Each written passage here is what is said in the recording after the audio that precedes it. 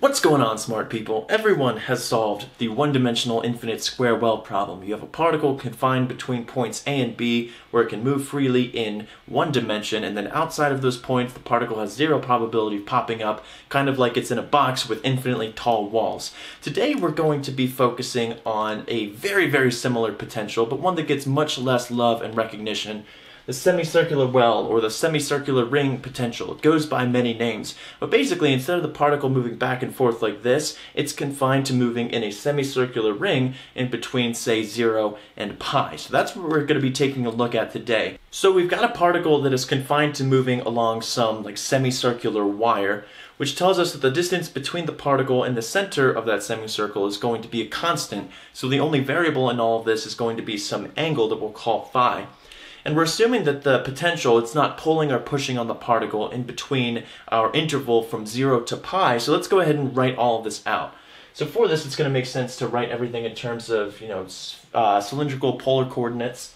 So we'll say that our potential of phi is equal to, well, it's going to be very similar to the infinite square well, right? It's going to be 0 for our angle in between 0 and pi, so it's just saying that the particle's not feeling anything if it's inside this interval and it's infinite else.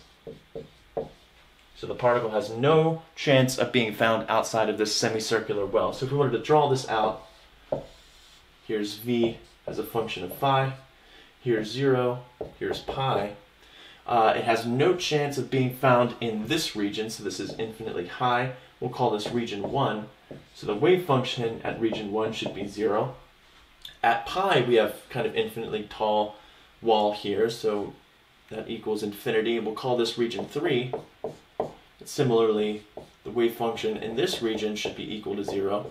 And this just means, the wave function being 0 means, you know, we have no probability, the wave function, the particle has no probability of being found here or here. So the only interesting part is in this region 2. This is what we're going to be solving for. So since we have something that only depends on phi, our Laplacian that is in terms, our Hamiltonian that is in terms of the Laplacian, we'll write in terms of cylindrical coordinates. And since phi is the only variable, this simplifies our Schrodinger equation. Normally we would have h bar squared over 2m del squared psi plus v times psi is equal to e psi. Uh, but we're not working in three dimensions, we're only working in one, so we can just write down the angular part of the Laplacian in cylindrical coordinates, which is going to give us a minus h bar squared over 2m, 1 over s squared, uh, d squared over d phi squared times psi. And since we're establishing that we're only looking in this region, the potential here is 0, so this is just equal to e times psi, because this part is 0. Uh, and keep in mind, this, this thing here, this is a constant. This isn't a variable. Our wave function does not depend on s. It only depends on uh, our angle. And in different literature, you might see people absorb this ms squared into the moment of inertia for a semicircular ring. We're just going to keep it along for the ride for now. Um, so let's go ahead and move this e over. We're just going to start solving the Schrodinger equation. So we've got, and we're also going to multiply this h bar squared over 2m over as well. So we've got 1 over s squared, uh, psi double prime, phi, um, so that's going to be a plus 2m e over h bar squared psi is equal to 0. Let's create a variable, the standard variable for this term right here, this 2me over h bar squared. That we're just going to call k squared is equal to 2me over h bar squared. And then let's go ahead and multiply this s squared over. So we've got psi double prime uh, plus k squared s squared psi is equal to 0. And this looks exactly uh, like the differential equation we would solve for the regular infinite square well. We've just got our second derivative of the function plus something that is proportional to the function equaling 0. Uh, we know we have like periodic boundary conditions, so we've got psi of 0 is equal to psi of pi is equal to 0. right? Because the wave function has to be continuous here, and the only way for that to happen, if it can't be found out here, if our particle can't be found out here, is for the wave function at our boundaries to vanish, which gives us these boundary conditions. So we've got periodic boundary conditions, we've got our textbook periodic, you know, differential equation. We know our answer is going to be in terms of sines and cosines, but just for, for good measure, just for completeness, let's guess that our wave function can be written psi equal to e to some value lambda times phi. Then its second derivative is equal to lambda squared e to the lambda phi. And we can substitute our ansatz into our differential equation, and we get lambda squared e to the lambda phi uh, plus k squared s squared e to the lambda phi is equal to 0. Factor out our exponential e to the lambda phi times lambda squared plus k squared s squared is equal to 0. This exponential is never going to be 0 for any phi or lambda that we put in here. So the thing that must make this 0 has to be this argument here. So we're saying that lambda squared plus k squared s squared equals 0. So lambda is equal to plus or minus i ks. Cool, so we found something that works. So our solution will be a linear combinations of these pluses and minuses, which is going to give us uh, psi of phi is equal to some constant times cosine of ks phi plus some other constant times the sine of ks phi. Okay. I'm going to erase this work just to give myself a little bit more space because now we can uniquely determine the wave function up to a phase by imposing our boundary conditions, which are right here. I'm just going to erase this, this stuff. Okay, so our boundary conditions say that the wave function at the origin should be zero. So if we plug that in, is equal to, well, this term goes to zero, so that works. Uh, but cosine of 0 is 1, so we get that this is equal to a. And for this to equal 0, a must equal 0. Great, so now we know that psi of phi is equal to some constant b times the sine of ks phi. Now we can apply the second boundary condition, but the second boundary condition doesn't fix what b has to be. The second boundary condition fixes what this combination has to be. So we're saying that psi of pi has to equal 0, which is equal to b sine of ks pi.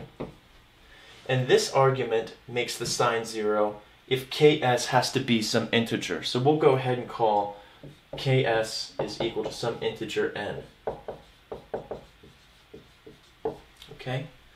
So this is equal to, so now we have psi of phi is equal to b times the sine of n times phi.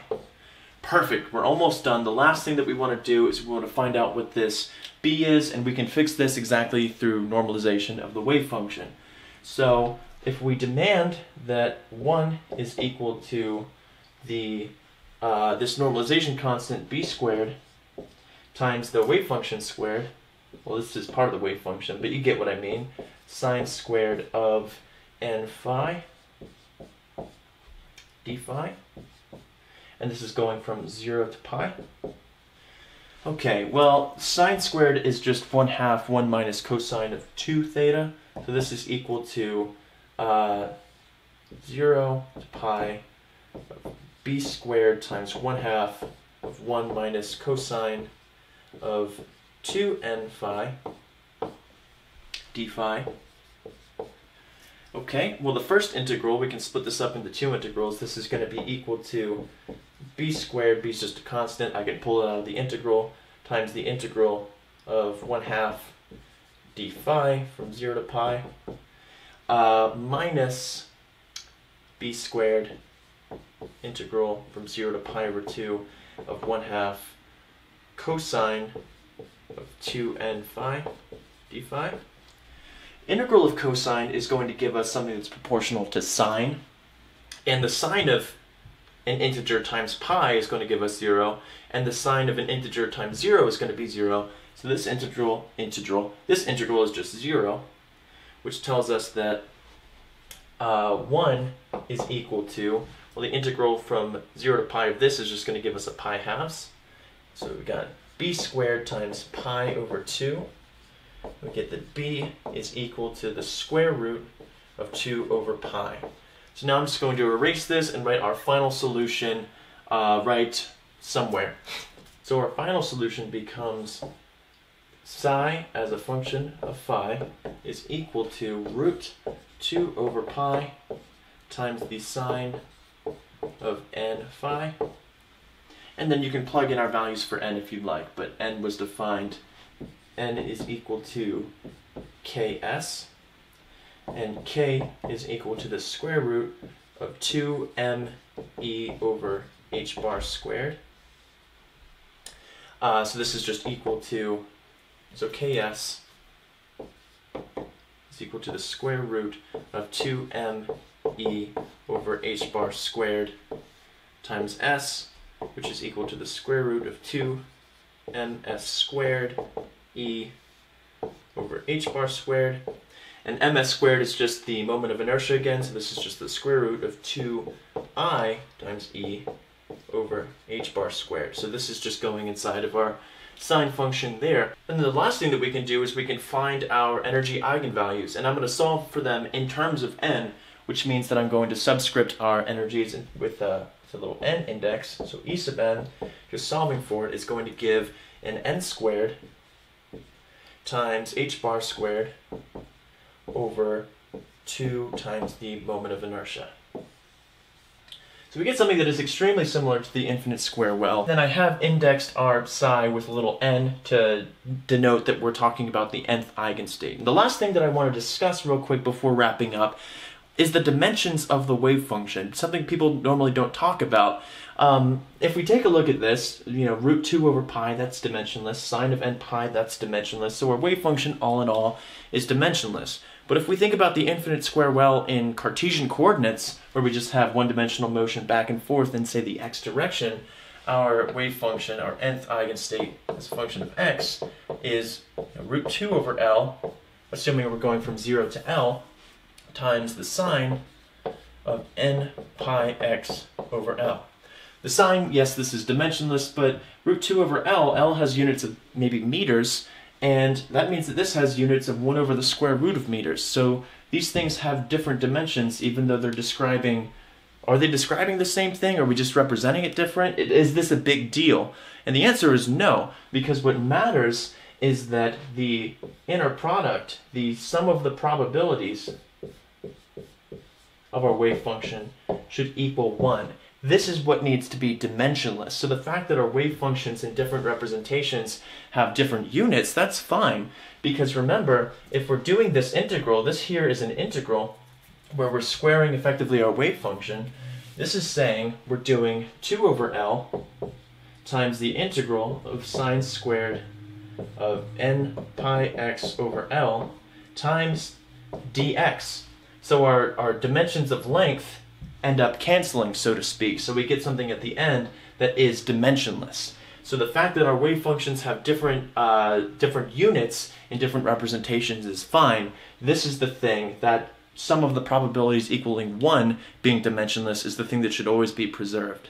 So with that being said, I'm going to wrap this video up. Hope you found it interesting and a little bit helpful. I don't think this is a potential that most people end up solving, even though it's basically the same thing. So I hope you guys enjoyed the video. Let me know in the comment section if you did, and I'll see you guys there.